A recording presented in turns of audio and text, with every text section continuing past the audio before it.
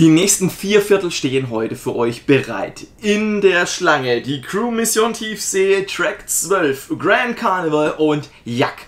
Vier Spiele, wie sie teilweise nicht unterschiedlicher sein könnten, heute zusammen im Review. Viel Spaß dabei.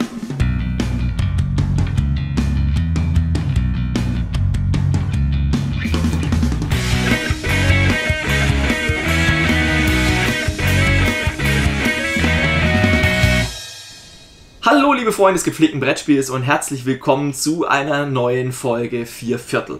Das Format, in dem wir vier Spiele auf einen Schlag vorstellen, reviewen. Und heute habe ich hier eine bunte Auswahl über, von die Crew Mission Tiefsee Track 12, Grand Carnival und Jack. Von nicht mehr ganz so frisch über ja, äh, empfohlen ähm, bis hin zu nagelneu oder noch gar nicht auf Deutsch verfügbar ja, verschiedene Spiele, wie sie teilweise gar nicht unterschiedlicher sein könnten. Alle gespielt worden in den letzten Wochen, teilweise episch oft, teilweise nur ein Ersteindruck. Aber äh, ja, das werde ich euch an dieser Stelle dann entsprechend einblenden und auch dazu sagen. Vier Viertel bedeutet, wir packen in ein einziges Video vier Spiele. Vier Reviews in einem mit äh, entsprechender Berücksichtigung verschiedener Kritikpunkte, unseren Spielerfahrungen natürlich und wir wollen so ein bisschen auch festlegen, wer ist jetzt die Zielgruppe, für wen ist das Spiel was, für wen ist es eine klare Empfehlung. Und ich würde sagen, heute machen wir es ganz einfach, wir starten mal der Größe nach. Die Crew Mission Tiefsee. Ich weiß ja nicht, äh, was mich da geritten hat, warum das Spiel so lange ungespielt im Regal rumlag. Meine Frau hat es mir dann aufgedrückt im Zuge unserer Umschlag und ähm, ja, äh, dieser Geh aufs Ganze ähm, Spielaktion für äh, unser Aufgetischt. Und ich habe es gespielt. Ich habe es mehrfach gespielt und ich habe mich gefragt, warum ich eigentlich überhaupt noch die Crew im Regal habe, weil ich die Crew-Mission Tiefsee in vielen Punkten besser, noch genialer finde als die Crew. Das sind einfach die kleinen Verbesserungen, die kleinen Punkte, die mit eingeflossen sind, was man verändert hat. Abhängig von der Spieleranzahl muss man auf äh, entsprechende Punkte kommen, äh, um ein Level zu bestreiten. Das heißt, es werden eine unterschiedliche Anzahl an Aufgaben gezogen und es hängt natürlich davon ab, wie schwer die Aufträge sind oder wie leicht sie sind. Und das finde ich tatsächlich sehr clever gelöst. Allein schon das Aus, äh, das Verteilen und die Art und Weise, wie diese, diese Aufträge, die es zu erfüllen gibt, hier anders, besser gelöst sind, ist genau das, was dem Spiel nochmal das bisschen mehr gibt für mich. Einfach das ein bisschen ja, wo es die Crew nochmal verbessert hat. Und wäre die Crew nicht Kennerspiel des Jahres geworden, wäre es spätestens die Crew Mission Tiefsee geworden. Ähm, schade, eigentlich, weil das das noch bessere Spiel ist für mich. Materialtechnisch gibt es äh, hier nichts zu meckern. Man bekommt einiges an Karten. Ich könnte jetzt hier hinten schauen. Äh, 35 große Karten. Dazu 96 kleine Karten und Sonderblättchen, Kettenaufsteller, Anleitung, Logbuch. Das ist vom Umfang für ein Spiel in dieser Größenordnung vollkommen in Ordnung. Ist einiges drin, Material ist gut, Qualität ist äh, vollkommen in Ordnung und das passt soweit. Vom Umfang, von der Ausstattung, alles so, wie man sich's vorstellt. Durch diese Kampagne, durch diese verschiedenen Level hat man einen Langzeitspaß und kann den Schwierigkeitsgrad nach und nach anziehen, wenn man mit einer Gruppe das häufiger spielt. Und normal bleibt es nicht dabei, weil eine Partie dauert auch keine 20 Minuten, wie draufsteht, sondern meistens dauert eine Runde 15 Minuten, vielleicht 12 bis 15 Minuten, hätte ich gesagt, so aus Erfahrung. Und äh, dann spielt man eh meistens drei oder vier. Das heißt, meistens landet man am Ende so bei einer Dreiviertelstunde bis Stunde und hat dann mehrere Partien gespielt. Zielgruppe sind hier natürlich äh, alle Spielerinnen und Spieler, die kooperative Spiele sehr gern spielen. Äh, jeder, der gerne Stichspiele spielt, ist hier definitiv gut aufgehoben und wird auf seine Kosten kommen und seine Freude damit haben. Spieleranzahl steht drauf, äh, 3 bis 5. Es gibt die Zwei-Spieler-Variante, das habe ich mit äh, die Crew reist zum, gemeinsam zum neunten Planeten ähm, sehr, sehr häufig gespielt. Ich würde davon absehen, ähm, wenn ich die Möglichkeit habe, zu dritt zu spielen, finde auch mit drei und vier Spielern macht es am meisten Spaß. Mit fünf wird es schwerer, aber ist immer noch eine schöne Herausforderung und macht Laune. Äh, würde aber sagen, ideale Spiel Spieleranzahl drei oder vier für mich persönlich. Spielzeit, darauf bin ich schon eingegangen, ähm, es bleibt eh nicht bei einer Partie. Preis-Leistungs-Verhältnis sehr gut, denn hier bekommt man in kleiner Box viel Material und viel Langzeitspielspaß durch die verschiedenen Missionen. Und äh, ich kenne niemand, der alle Missionen schon mehrfach durchgespielt hat, obwohl ich sehr viele kenne, die ähm, tatsächlich versuchen, die Mission nach und nach durchzuspielen.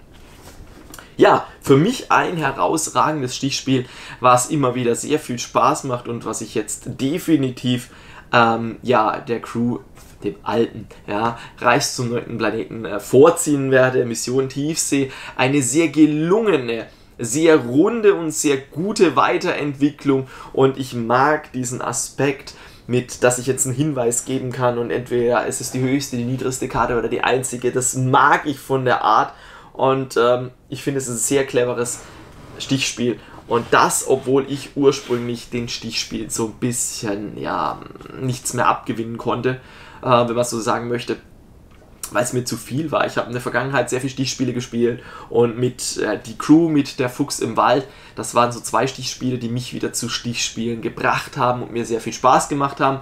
Ähm, andere Spiele konnten mich da weniger überzeugen. Ich bin halt einfach nicht unbedingt der große Fan von Wizard und Skull King, muss ich ganz ehrlich sagen an dieser Stelle. Nächstes Spiel ist Track 12. Track 12 war auf der Empfehlungsliste zum äh, Spiel des Jahres 2022, ist von äh, Bruno Catala und Corentin Lebrun und ist ein für mich sehr, sehr cleveres Roll and Ride, was einiges anders macht. Bis 50 Personen kann man spielen. Warum? Weil es eigentlich gerade egal ist. Ich habe es auch diverse Male solo gespielt, zu zweit gespielt, zu dritt gespielt. Spielzeit unterschiedlich zwischen 10 Minuten bis hin zu ja, 25 Minuten. Wenn man ähm, auch mal da tatsächlich über drei ähm, Routen hintereinander durchspielt, können es auch mal 40 Minuten werden oder 45 Minuten. Ähm, wir haben hier verschiedene Spielmodi. Wir haben den Schnellaufstieg, den Expeditionsmodus, das ist das, was ich meine mit mehreren Routen und natürlich den Solo-Modus, der auch gut funktioniert.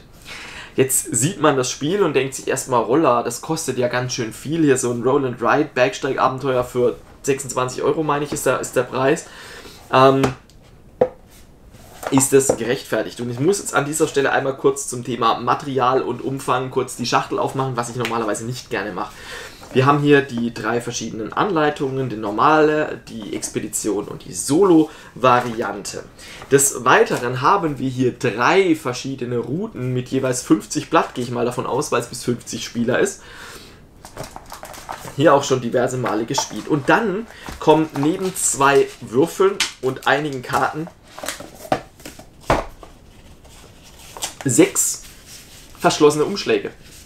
Ja, und die sind zum Teil schon ziemlich dick. Und das ist so ein bisschen auch das, was für mich dieses Spiel auszeichnet. Wir haben hier verschiedene kleine Umschläge oder größere Umschläge mit einer, ich nenne es jetzt mal Pseudo-Legacy-Variante.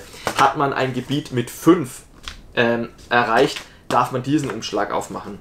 Hat man hier ein äh, Gebiet mit 3 mal der 7 erreicht, äh, hat man eine Seilroute mit neun, ich weiß es jetzt gerade gar nicht, wie es genau war, oder hier ein entsprechend großes Gebiet mit lauter Siebenern, ein Zweiergebiet mit Elfern oder eine Seilroute mit 13. Absolut der Wahnsinn, was da nochmal zusätzlich reingepackt wurde. Und das ist so der Punkt, wo ich sage, okay, verschiedene Spielmodi, diese Mini-Legacy-Aspekte durch diese ähm, sechs Kuverts bringen noch mal so ein bisschen was rein, verändern das Spiel noch mal, erweitern das Spiel minimal und ist dann unterm Strich schon sein Geld wert, vor allem wenn man das tatsächlich dann extrem häufig spielt. Ich habe jetzt auch jeweils Spielpläne einlaminiert, damit ich mit einem Folienstift das Ganze häufiger spielen kann, auch mitnehmen kann in Urlaub, ohne hier äh, großartig dann ähm, ja Blockblätter zu verschwenden. Das ist sowieso meine Standardempfehlung bei Roll-and-Ride-Spielen, äh, wo man Blockblätter verschwendet. Nutzt einfach ein Laminiergerät, laminiert euch den Spaß ein. Für wen ist das Spiel? Die Zielgruppe ist hier ganz klar Fans von Roll-and-Ride-Spielen, Fans von Bergsteigspielen, vielleicht auch ich finde, es hat eine sehr geringe Einstiegshürde. Es ist trotzdem anders als andere Roll-and-Ride-Spiele. Es ist interessant, es ist abwechslungsreich durch die drei verschiedenen Routen, die auch alle unterschiedlich schwer sind und unterschiedlich zu spielen sind. Und deswegen passt das für mich ziemlich gut.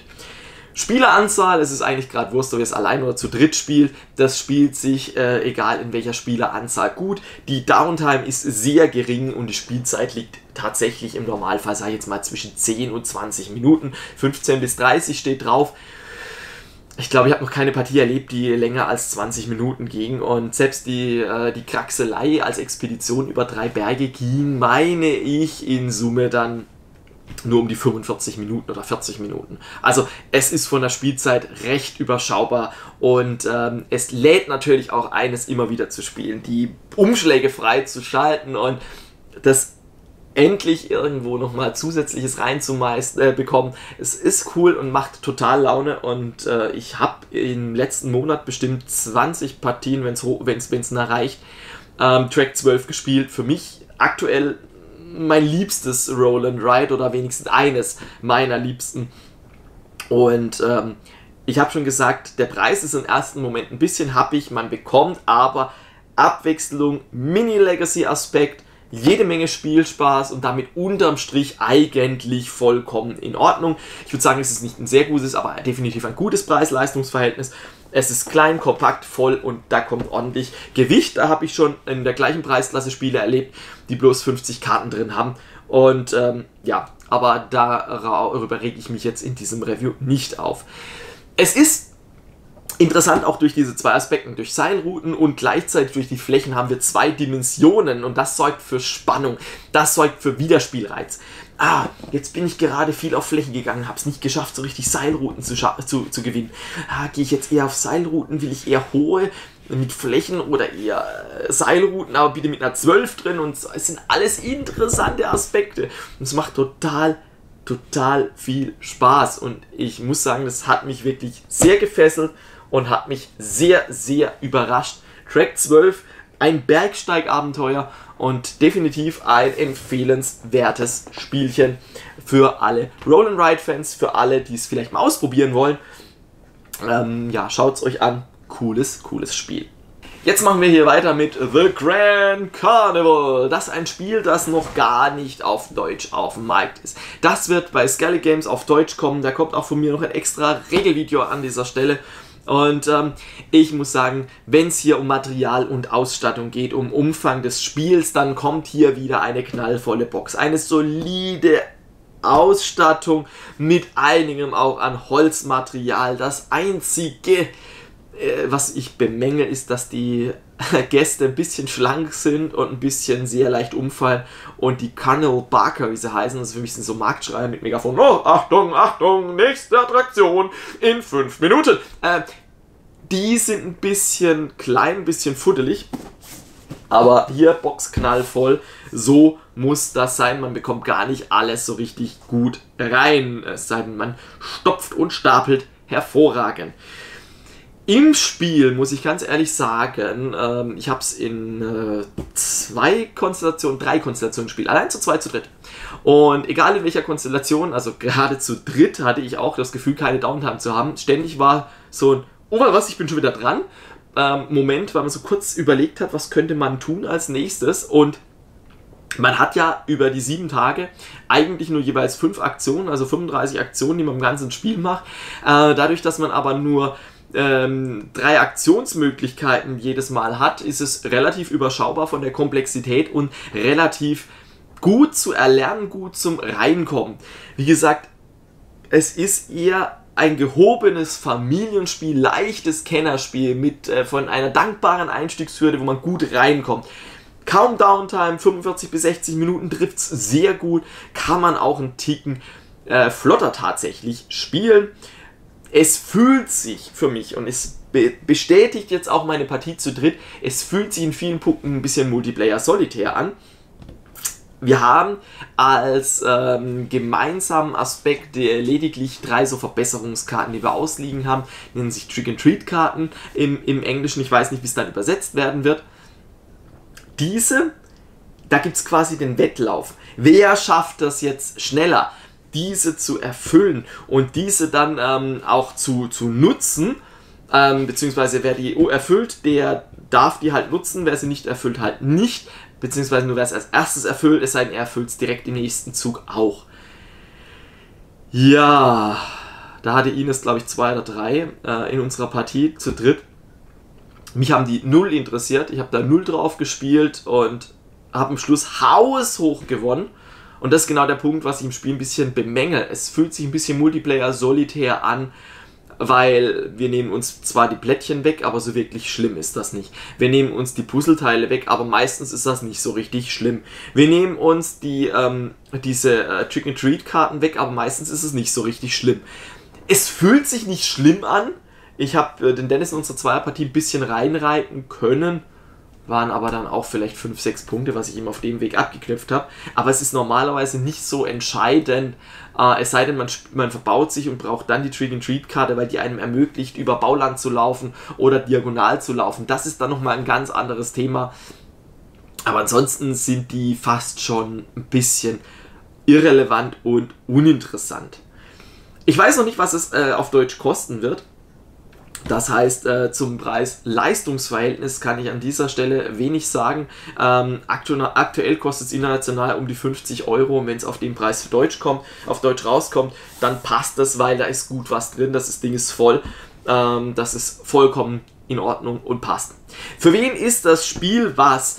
Ich habe gesagt, gehobenes Familienspiel, einfaches Kennerspiel, gut zugänglich, aber wir haben hier ein Puzzlespiel in zwei Ebenen. Zuerst einmal puzzeln wir uns den Untergrund, dann puzzeln wir die Puzzleteile drauf, dann bewegen wir noch die Gäste. Das ist nicht so einfach, wie es klingt, obwohl die Aktionen an sich super simpel sind. Wir puzzeln und liegen in zwei Dimensionen. Trotz allem ist es nicht schwer. Wir haben einen super leichten Einstieg ohne dass jetzt, dass es banal ist. Wir sind, es ist super dankbar, super schön zum Reinkommen. Die zwölf Jahre würde ich streichen und sagen zehn. Pfiffiges Kind auf jeden Fall schon. Es ist ein sehr cooles Spiel, was man nicht unterschätzen sollte und es gibt auch für vieles dann wieder Punkte. Für 3er, 4er, 5er Sets von einer Attraktion, die dann Tickets drauf haben müssen, damit die, weil die Gäste die besucht haben und für eine gewisse Mindestanzahl an Tickets für Sonderpunkte, wenn ihr jede Größe an Attraktionen von 1 bis 5 Größe verbaut habt. Und so versucht ihr alles zu bekommen. Ich hatte dann am Schluss, glaube ich, ähm, vier, fünfer Attraktionen und von jeder Attraktionsgröße eins und genau das Minimum an Tickets, was ich gebraucht habe. Und noch Gäste oben im Zirkuszeltdach, was auch nochmal Sonderpunkte gibt. Und es lief echt schon für äh, Grand Carnival sehr gut. Ich glaube, es war meine Dreispielerpartie, war die mit Abstand erfolgreichste von, von, von den Partien, die ich gespielt habe. Ich kann es Stand aktuell einfach nur empfehlen, weil es ein sehr cooles Spiel ist, was vom äh, Thema, vom Artwork, da passt irgendwie gefühlt alles gut zusammen. Ich würde jetzt nicht diese ähm, ja, übertriebenen Lobeshymnen singen, äh, wie es tatsächlich andere vor mir schon getan haben. Aber es ist ein sehr cooles Spiel, was sehr viel Spaß macht und wo ich mich auch freue, dass es auf Deutsch kommt. Ähm, total berechtigt und freue mich drauf, das dann auch auf Deutsch spielen zu können. The Grand Carnival, das äh, Zwei-Ebenen-Legespiel für alle ausgefuchsten Plättchen- und Puzzlefreunde. So, einmal kurz umgebaut haben wir hier das letzte Spiel äh, von Michael Liu, das ist Yak. Yak ist bei Pretzel Games erschienen und ist ein Familienspiel. Definitiv ein Familienspiel. Äh, ich schaue gerade, ob hier irgendwo noch was draufsteht. Ab 8 Jahren angegeben, das passt. Und ähm, das ist nämlich genau die Zielgruppe, die Jack auch ansprechen möchte. Aber zuerst mal fangen wir von vorne an. Material, Ausstattung, Umfang Uh, meine Güte, das Ding ist knallvoll. Ihr werdet hier jetzt nach ähm, und nach auch Bilder sehen. Jack ist ein opulent ausgestattetes Spiel mit tollen Klötzchen, mit tollen Fuhrwerken, mit diesen Jacks, die sich im Kreise bewegen. Die Ausstattung ist knalle, knalle voll. Man bekommt es fast nicht mehr in die Box rein, wenn man es gespielt hat. Und das ist das Einzige, was mich richtig stört, dass die Box fast ein Hauch zu klein ist. Kommt selten vor, dass ich das sage. Bei Jack ist es wirklich so, man bekommt sie gerade mit Mühe nur zu, muss dann schon ein bisschen drücken, ein bisschen rütteln, ähm, dass alles sauber verpackt ist.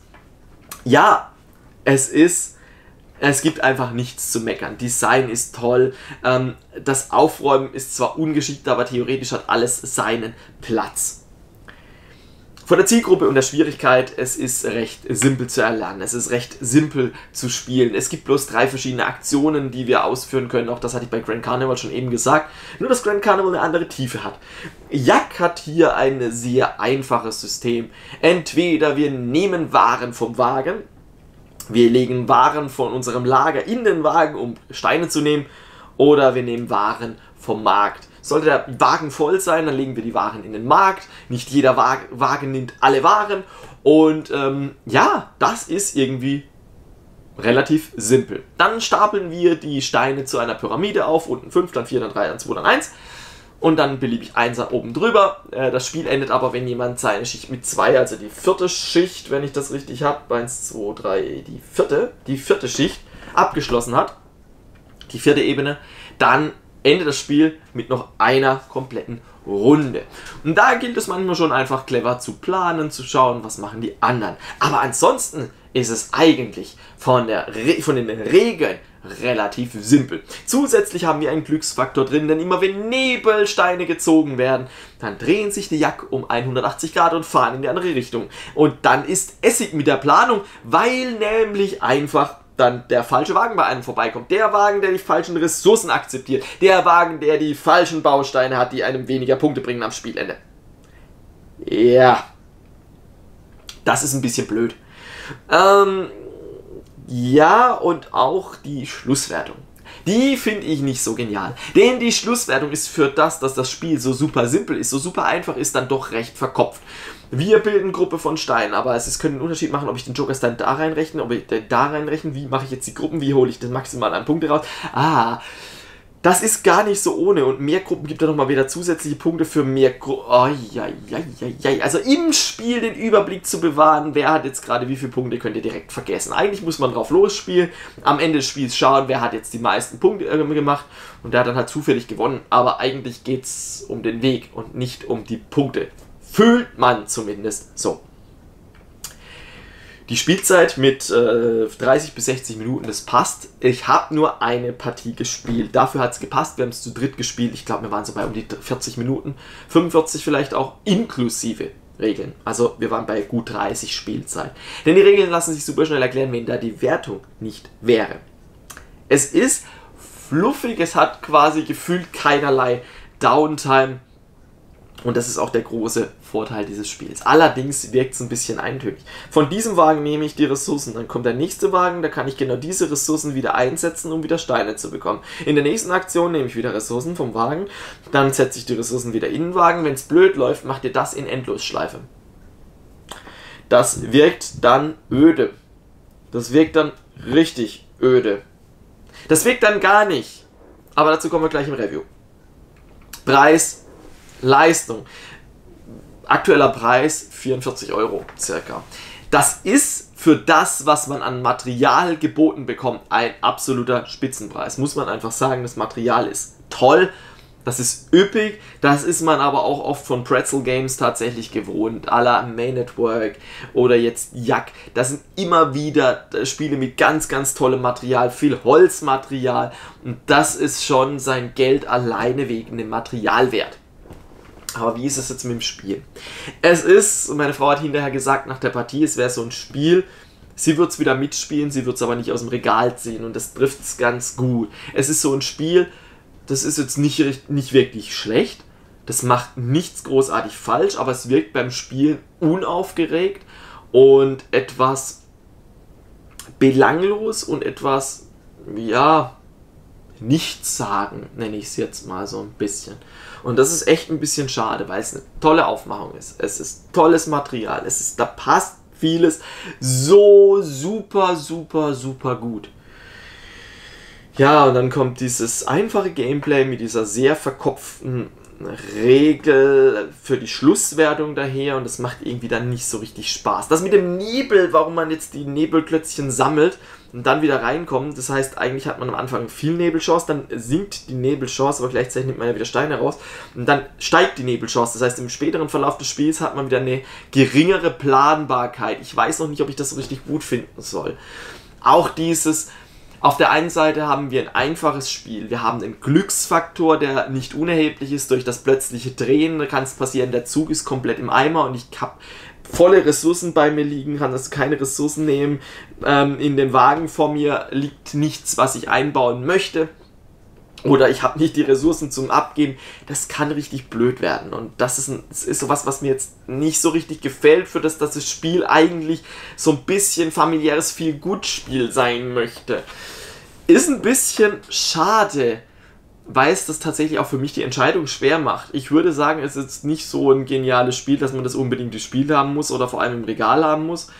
Ähm, wer sich angesprochen fühlt und weiß, er möchte ein Familienspiel ab 8, wo halt die Wertung ein bisschen nicht ganz trivial ist, der kann sich das durchaus anschauen. Der wird vielleicht auch der ein oder andere durchaus seine Freude dran haben. Für mich ist es ein bisschen zu wenig und in der Familie habe ich andere Spiele, die gut ankommen, dass ich jetzt Jack nicht unbedingt brauche. Und ich weiß genau, wenn ich das mit meiner Schwiegermutter spielen würde, die würde die Regeln verstehen, die könnte das Spiel spielen und würde hinterher sagen, keine Ahnung, was ich jetzt an Punkte habe, zähl einfach mal, ist mir eh egal. Und das ist ein bisschen schade tatsächlich, aber kann man nichts machen. Auf jeden Fall kein schlechtes Spiel, aber halt unaufgeregt und, und nicht jetzt so herausragend, dass ich sage, das Spiel bleibt in Erinnerung, sondern es wird eher eines dieser Spiele sein, wovon man in einem Jahr nicht mehr reden wird. Am allerschönsten sind Reviews doch immer dann, wenn man keine Totalausfälle hat, sondern vielleicht weniger gute und richtig gute Spiele. Und so muss ich sagen, ist dieses Vierviertel-Video eigentlich geprägt durch drei sehr gute Spiele und ein Spiel, das ganz okay ist, aber nicht unbedingt zu meinem präferierten Gusto gehört oder was ich unbedingt bräuchte. Ja, diese vier Spiele kurz zusammengefasst in diesem Review-Video und mich würde natürlich jetzt eure Meinung interessieren. Findet ihr die Crew Mission Tiefsee besser als Reist gemeinsam zum neunten Planeten? Seht ihr es wie ich? Dann lasst es mich wissen. Wäre Track 12 was für euch? Habt ihr es schon gespielt? Für mich eines dieser Spiele, was definitiv richtig war auf der Empfehlungsliste fürs Spiel des Jahres. Genauso auch wie Magic Rabbit. Schreibt mir auch da gerne einen Kommentar dazu. Freut ihr euch auf Grand Carnival? Habt ihr vielleicht schon die Lobeshymnen einiger YouTube-Kollegen von mir gesehen? Und freut euch jetzt wie Bolle, dass das Ganze auf Deutsch kommt. Auch dann lasst es mich gerne wissen. Und was meint ihr zu Jack? War das auch eines der Spiele, was euch von der Aufmachung, von der Grafik und dem Material direkt geködert hat, direkt gecatcht hat, wo ihr gedacht habt, yes, genau das dann lasst es mich wissen. Dann wird mich das nämlich brennend interessieren.